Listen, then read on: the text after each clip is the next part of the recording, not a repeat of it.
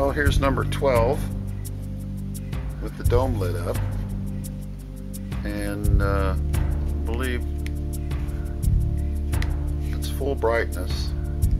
I can dim it down a little bit. You can dial it in how you like it. Turn all, barely have them glow a little bit.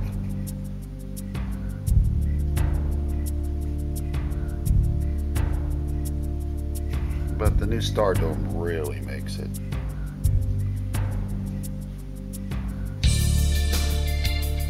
This dome's not rotating.